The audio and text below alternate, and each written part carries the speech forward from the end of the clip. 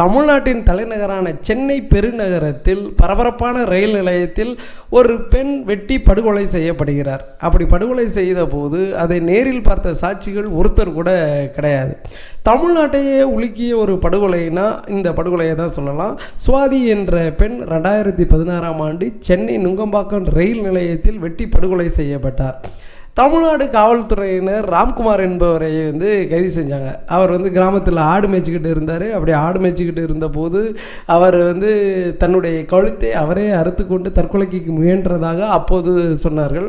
அவர் கைது செய்யப்பட்டு சென்னை புழல் சிறையில் வந்து அடைக்கப்பட்டிருந்தார்.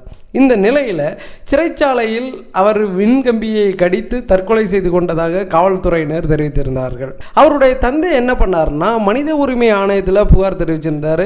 அந்த வழக்கின் அடிப்படையில் தான் ராம்குமார் அவர்கள் மருத்துவமனைக்கு கொண்டு செல்லப்பட்ட வழியில் தான் இறந்ததாக முதலில் தெரிவித்திருந்தார்கள். ஆனால் தற்போது சிறை மருத்துவர்கள்லாம் என்ன சொல்லியிருக்கிறாங்கன்னா அவர் வந்து ஏற்கனவே இறந்து விட்டார். சிறையிலேயே அவர் இறந்து விட்டதாக தற்போது சொல்லியிருக்கிறாங்க. அதனால இந்த வழக்கு மீண்டும் பரபரப்புக்கு உள்ளாகியிருக்கு பட்டப்பகல்லையே படுகொலை செய்யப்பட்டதை. நேரில் பார்த்த சாட்சிகள் யாருமே இல்லாமல் ஒரு பெண் படுகொலை செய்யப்பட்டது. மிகப்பெரிய ஒரு பரபரப்பாக இருந்தது.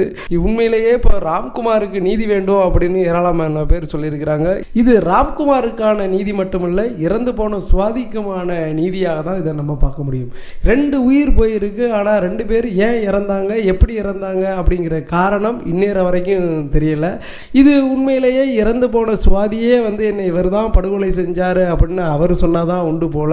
அதே போல் ராம்குமார் வந்து எப்படி நான் மின்கம்பியை கடித்து இறந்தேன் அப்படின்னு அவரே வந்து உண்மையை சொன்னாதான் இதில் உண்மை வெளிவருமோ அப்படிங்கிற சந்தேகம் சாமானிய மக்களிடம் இருக்க தான் செய்யுது.